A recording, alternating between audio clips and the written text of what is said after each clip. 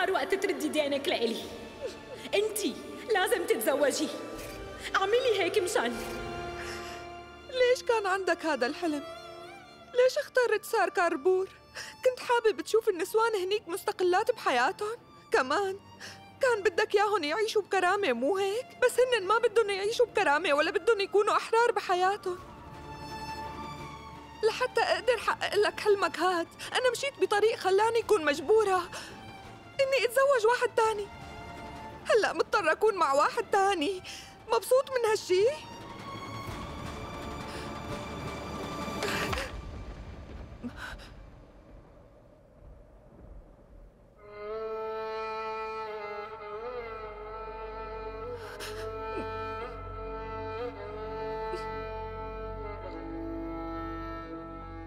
أنا آسفة. من دونك. أنا حاسة بالوحدة. أنت مانك موجود جنبي. لهيك ما بعرف شو لازم أعمل. بس رح أوفي بوعدي. وحقق حلمك الوحيد. رح أبني هذا المصنع بسار كاربور. بوعدك إنه ما حدا بالعالم رح يقدر يوقفني.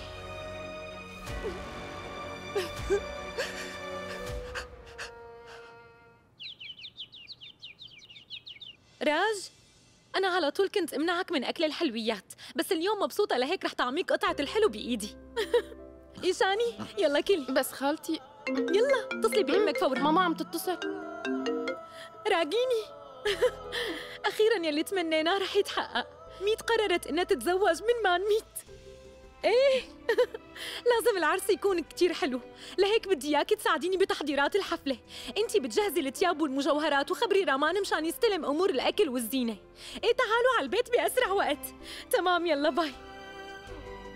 أنا كتير قلقانة راج. رح نخلص كل شي على الوقت صح؟ هدي رح نعمل لهم حالك حفلة حلوة وكمان. بابيتا انت ليش قلقانة لهالدرجة؟ رح يكون كل شيء بأحسن حال لا راج أنت تخافي ما عندك فكرة قديش أنا فرحانة ومبسوطة. أنا كتير مبسوطة لأنه ميت وافقت. راج وأخيرا ميت رح تتزوج شخص مناسب لإلها. ما رح تشوف شب مناسب لإلها أكتر. ما ان ميت بيشبه ميت بكل شي وبيحبها لميت كتير وبيعتني فيها وممكن يعمل أي شي مشانها. أنا متأكدة إنه رح يدير باله منيح عليها. هاد كل يلي تمنيناه لك انتي ميت. ورح يتحقق راج. رح تكون ميت مبسوطة بحياتها مو هيك؟ آخ أنا كتير مبسوطة.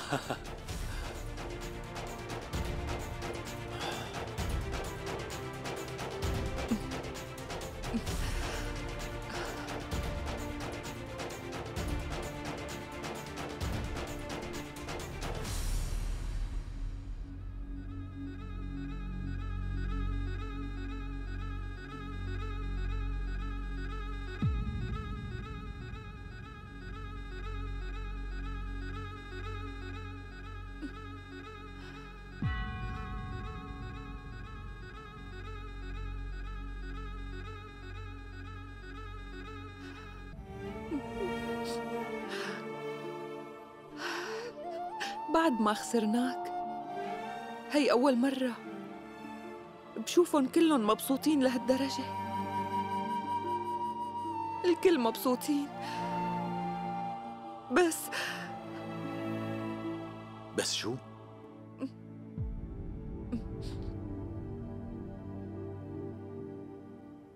ميت شو القصة؟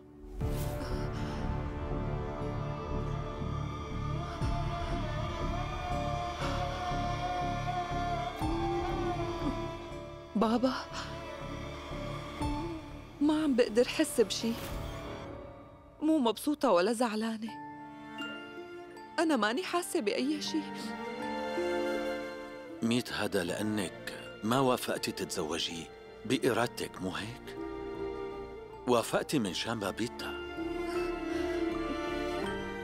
بابا ما فيني أنكر دورك أنت وأمي. عملتوا كتير شغلات من شاني. بس هذا عرس. أنا برأيي ما فيني رد فضايل ما نميت علي لو شو ما عملت. هو خسر إيده بسببي أنا. بس هذا مو سبب كافي لأتزوجه. شو لازم يعمل أكتر من هيك؟ ماما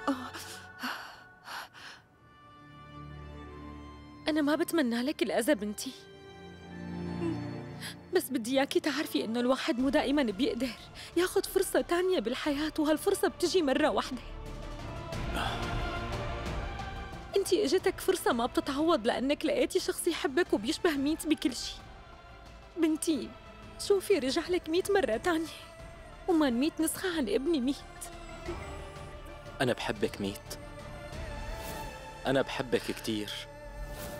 عن جد ما بتتخيلي قديش أنا بحبك يا ميت.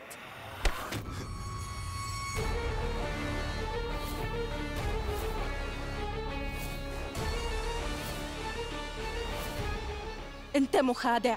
رح اقتلك بإيدي إذا بتعيد هالحكي عم تسمع. رح اقتلك بإيدي.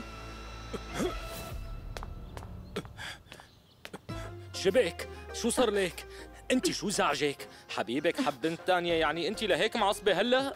أنا بورجيك شو رح منها ما؟ اعمل فيك؟ استنى. ليش معصبة؟ اهدي واسمعيني. إيه احكي. هديك البنت. إيه. ميت. إيه. شو صار؟ هي بصراحة كتير عاجبتني. أنا بحبها كتير ورح أتزوجها. قلت لي بتحبها لكان؟ هيك لكان. خلص. عن جد مالك معقولة؟ اشربي كاسة مي واهدي شوي. تفضلي امسكيها رح أرمي لك إياها. يلا.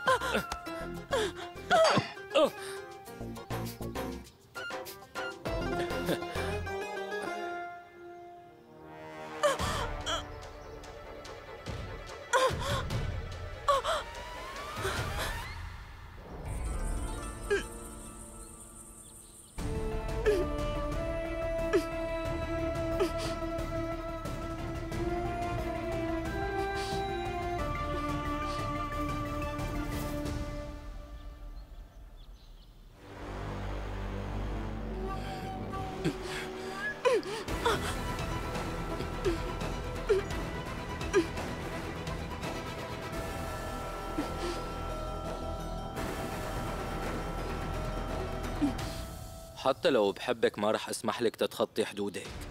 إذا بتفكري تعملي هيك مرة تانية مستحيل إني سامحك.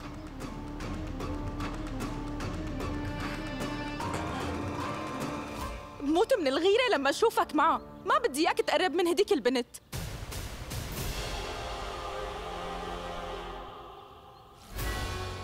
الواضح إنك مانك كتير واثقة بجمالك. بس أنا واثق بعيوني وبنظري لهيك اطمني.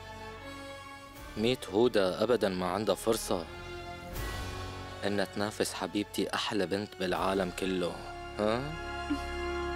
لا تخافي راح أتزوجك أنتي هذا وعدي لإلك وأنا ما بخلف بوعودي أبدا.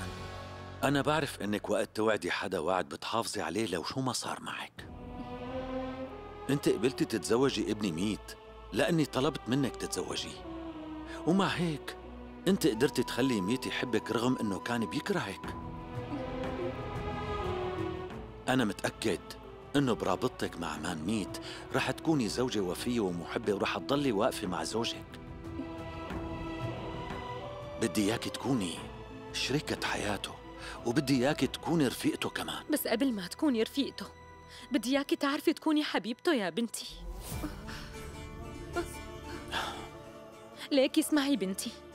المرة بتلعب أكثر من دور بحياته للرجال بعد ما تصير مرته. وأساس كل دور من هدول هو الحب. لأنه الحب فيه القوة يلي بتخلي